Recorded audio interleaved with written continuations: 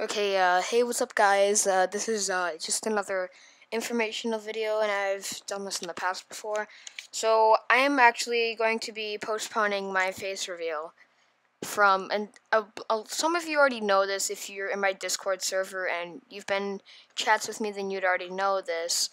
But I'm postponing my face reveal from 10k to like 100k because, well, privacy concerns with like the whole child predator thing.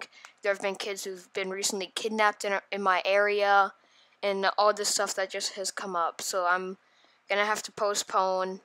Sorry for this, guys, but uh, yeah, I'll see you guys around. Peace.